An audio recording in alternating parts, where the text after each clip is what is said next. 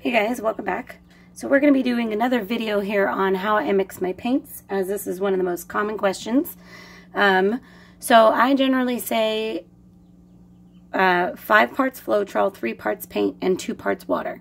What that means is if you were to divide however much you're mixing into 10 parts, that's how much it is. It could be this whole cup, it could be this little bit. So for today, we're going to mix about this much of one color, and then we'll go ahead on to the next one. So I would just take my Floetrol and fill it up to that Floetrol line there. So I'm bringing you down here so you can see. It's at the Floetrol line there. Now we'll take our paint. For this I'm using DecoArt's Metallic. This is zinc. Okay, there we go. So I'm going to go ahead and put this in here up to my paint line. Which may be pretty much this whole bottle because this is only a two ounce bottle.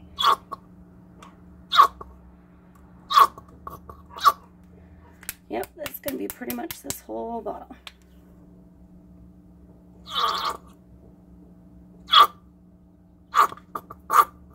Okay, so I'm going to take you to the side again here. So you can see my mixture is pretty much up to that paint line now. Now because I want the paint and the Floetrol to bond together pretty well, I'm going to go ahead and mix this first before adding any water. Because also the water that you add is going to depend on the paint you used. Some paints are thinner than others and you don't need as much water. So on the water especially, you cannot be robotic about it. All right, try to scrape off the sides a bit here. Okay, so there we have that fairly well mixed. And now I'm going to add in a wa water, and I'm not going to automatically add it up to that water line. I'm going to put a little bit in first, and then I'm going to mix it. But I think that water line is pretty accurate for how much I'll need. This is still fairly thick. A lot of it's sticking to the stick. Um, I don't really generally use this as a test, although I know a lot of people do. I more use the uh, consistency as I'm stirring it as a test. So add a little bit more water.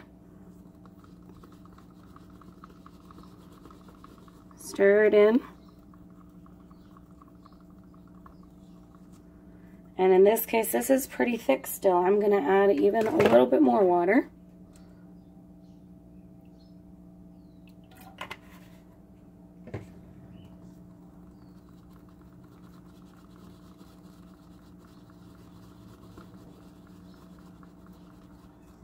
Okay, at this point, I'm happy with the consistency. Um, it's a lot more runny, but not too runny. Still sticking to my stick a bit there, you know. So now I'm going to take you down to the side so you can kind of see where well, I went pretty much exactly to that water line, maybe a little bit above it. Yep, a little bit above it. Okay, so that's pretty much it. Now, do I draw these lines on my cup every time? Heck no. I do not. I do it by sight. So let's go ahead and mix another color. I'm going to make less of this color. This is a uh, DecoArt's Metallic Purple. It's Purple Pearl is what it's called. So I put my Floetrol in the cup. Putting my paint in. And I do about half as much as I put the Floetrol in there. Go ahead and mix it up well.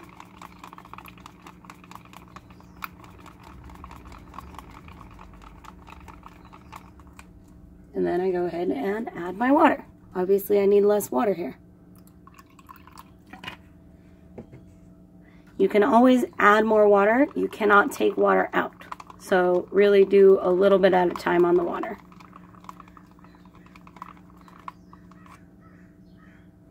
I'm going to add tiny bit more and then I think we're good on that.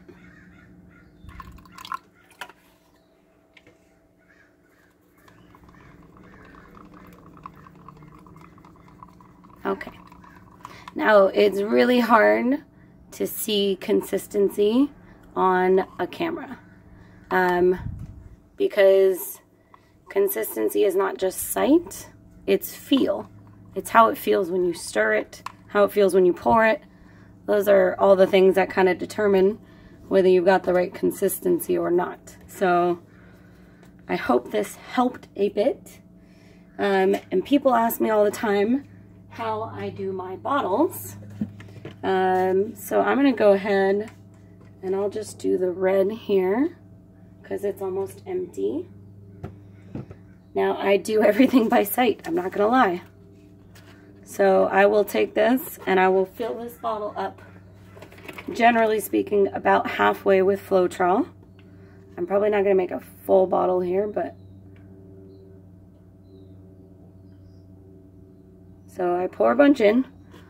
I look to see what level it's at. Then I go ahead with my paint. And I put about half as much as I put the Floetrol in there. And just directly from the bottle. Good. Now I can feel that by the weight in the bottle. I can also look inside. You can't really see, but I can. I can look inside and see what level that's at. Then I put my lid back on and I shake the crap out of it for quite a while. Alright, so I've done a lot of shaking. So now, take the lid back off, and I'm going to go in here with my water. Same thing. I'm going to put about as much water in there as I put paint maybe a little bit less. And I'm going to do the same thing and go ahead and shake. Now when I'm shaking it, I can tell how thick it is. So I can tell by that that this needs a little more water. Go ahead and add a little more water.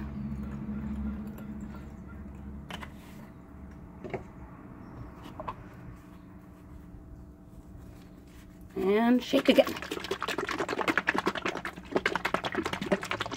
Now by how that feels and sounds, I can tell it's fine. I can also take maybe one of my leftover paint pour cups and I could test it if I wanted to and make sure the consistency is fine, which it is. So I didn't waste that paint. It's going to be used later. Now I generally will not use that bottle right away I tend to pre-mix my paints a day before so that they have time to actually settle and mix together. So now that you guys have sat through all of that, we're going to do a really quick pour. Using the two colors in the cup that I just mixed up, the two metallic colors here, and a couple others Let's go ahead and start off with this. This is like a silver. It's pretty cool. Um, and we'll add in my white, which I made this bottle a couple days ago. So it should be pretty well settled and mixed now. We're going to add some blue.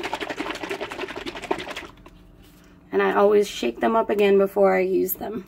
Just make sure everything, nothing's separated, you know, it's all still well mixed. Uh, and of course, we're going to use black.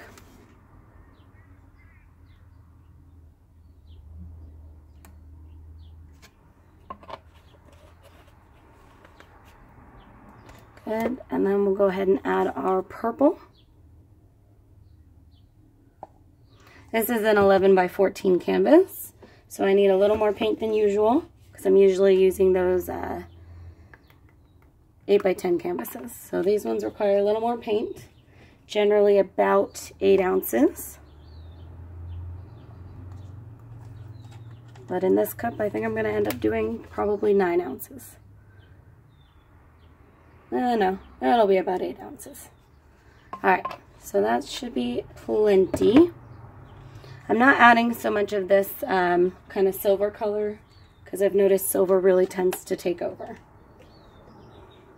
All right, go ahead and flip this.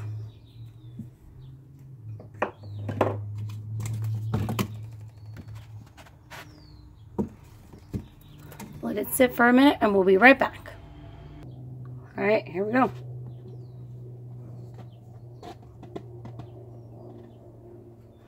Okay. We're going to torch this a little bit. I'm pretty sure it's time to upgrade my torch. So I will be doing that soon. Alright. So far so good. Looks pretty cool.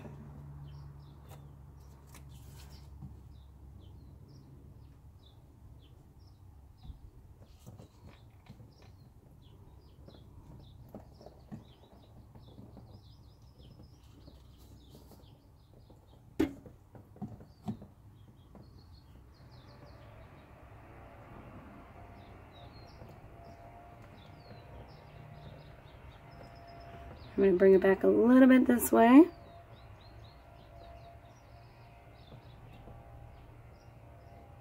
Okay. Very cool. So, as usual, let's let this sit, settle, see what other cells may occur, and then we'll go in for a close-up. Okay, awesome. So we got lots of cells, a bunch of lacing with this, uh, the kind of silver color I used, zinc. So we'll go ahead and we will do our close-up. So lower right hand corner here. Purple metallic in there. A little bit of the white popping through up here. I definitely didn't want to use too much of that. We've got lots of black, of course. And here's the really cool, like, webbing, lacing of that zinc color. Um, lower left hand corner there. And of course the overall picture. So thank you guys for watching. I really hope this helps. Uh, I hope it answers a lot of your questions on how to mix the paint. Um, let me know if you have any other questions, of course, in the comments. Do not forget to subscribe, and we'll see you next time.